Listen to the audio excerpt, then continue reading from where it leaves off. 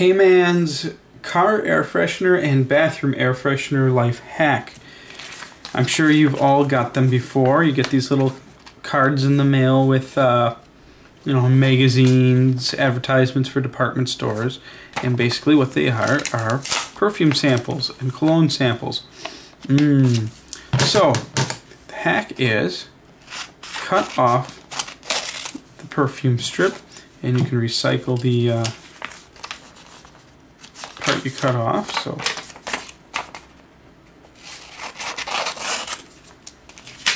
Get a bunch of them. And for some reason, it smells better when you do a lot of them instead of just a couple.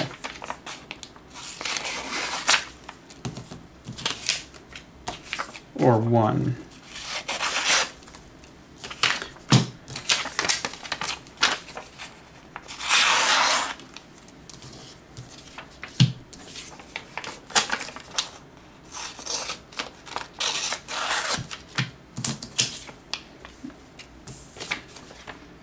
Ooh, that one smells nice. All right. Ooh, fruity, flowery. Whoops. Well, that's okay. We can still use that one.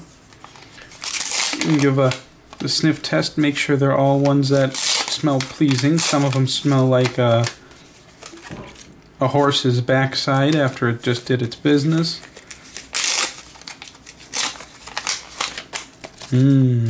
So far, we're we got all winners here. Whoops.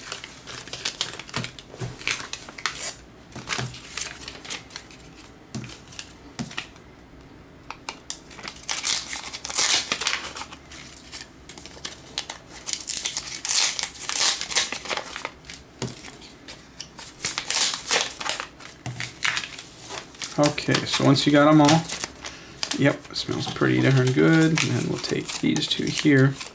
Basically, all you do is take a stapler, staple. Just do one side, and then you just kind of kind of fan it out a little bit. And there you go. You got a very pleasing um, car or bathroom air freshener. You could also put it in your sock drawer. Um, so on and so forth. And uh, the nice thing about this is, well, most car air fresheners just smell like nasty chemicals, whereas perfumes and colognes at least have, you know, a pleasing aroma to them. And what you do with this is you toss that underneath your driver or passenger seat, front seat, um, and it'll be good for about a month or so, just in time to get another batch of these in the mail and uh, or you can take it, toss it on a shelf in the corner of your bathroom, and uh, it, will be, you know, it's one of it's like that after scent. It won't be overpowering like a regular air freshener would, but it will give that uh, that just that little extra hint of something in the air. And there you have it, K-Man's life hack of the day.